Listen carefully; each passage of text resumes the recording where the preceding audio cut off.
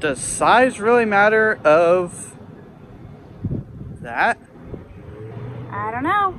Stay tuned to find out. I think it does. Let's see what you guys think. I don't think it does. I do. We'll see. We'll see. See who's right.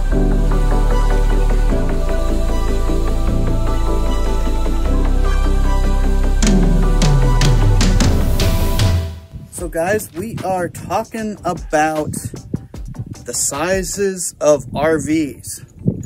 What size should I get? Should I get a 20 foot, 30 foot? How big do you want? Uh, what type of RV do you want? Do you want a travel trailer that is a bumper pull? Do you want a fifth wheel? That's fifth wheels that hitch up and they sit in the bed of the truck maybe you want something lighter, a pop-up. We've done videos about that. Um, maybe you want the big Class A and maybe Tow a car behind you. So and and bring a car behind you. Yeah. Are you doing full timing? Are you doing this full time? Let us know. Maybe you're doing it. You just want something for the weekend. So if you're new here, thanks for joining us. My name's Daniel, I'm Jennifer. and we talk about tips and tricks about RVs, and we do play go places and show you the best places to go camping. So let's jump in. So for me, I think there are two different, there's two different types of sizes. So there's the size that you want to think about if you're pulling or, know, if you have the fifth wheel, but then also there's the size of the actual inside of the RV.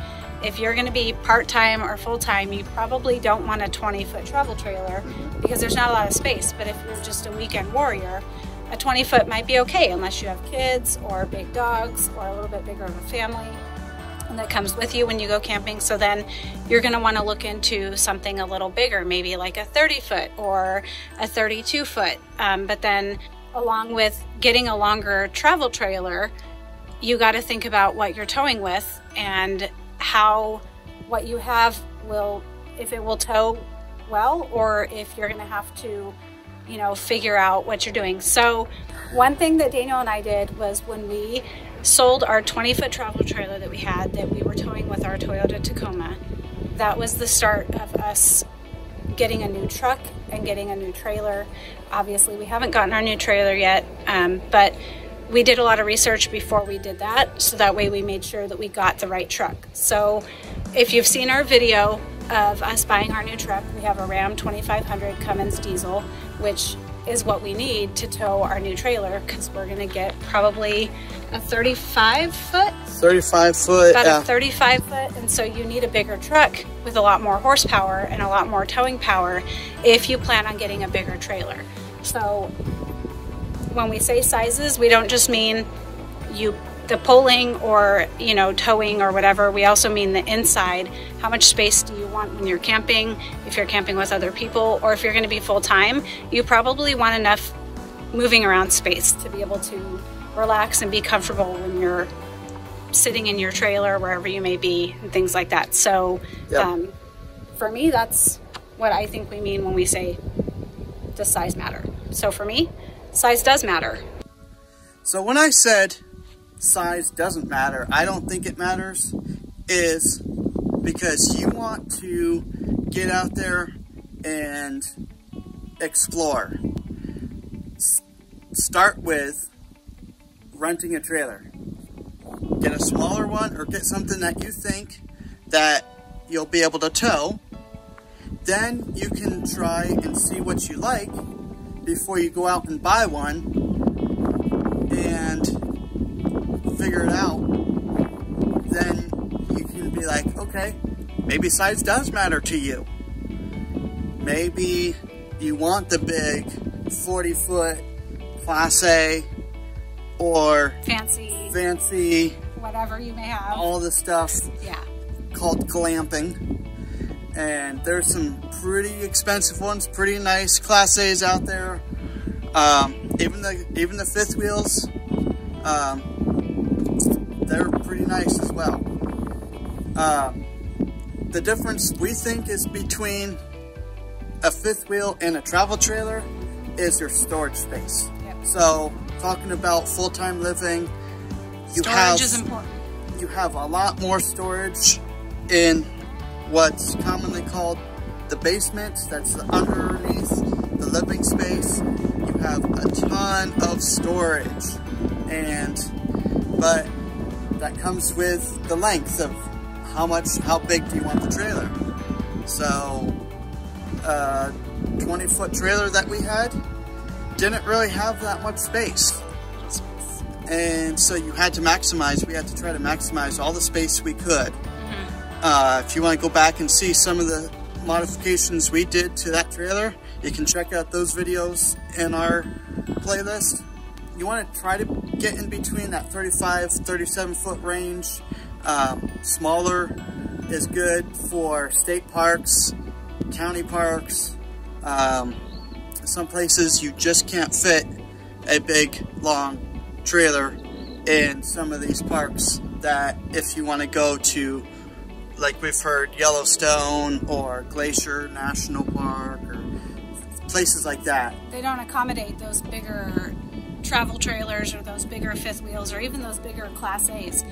Uh, but also like if you plan on going to Utah and exploring Utah, there are roads that are super narrow that actually are not exactly the safest to travel on if you have a longer trailer, a longer fifth wheel, or a bigger um, motorhome like a Class A. So that's also something to take into consideration. Yeah. And I think, Trying to get under bridges, yep, um, you got to make sure that you're going down roads, like she said.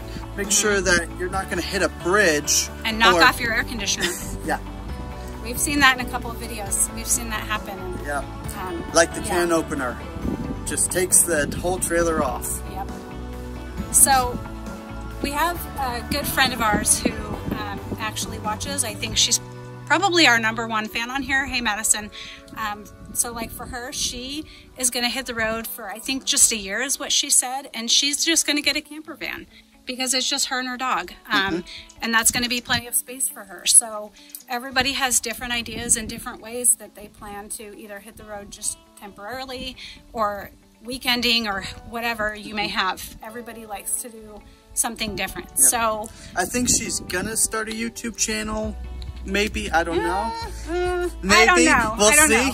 Maybe may- we can talk her into it. Madison, I, can help you. A challenge for you, Madison. but anyway, uh, yeah, I forgot. That's a good point. I forgot to mention camper vans. Mm-hmm. Um, maybe you guys know of Trent and Allie.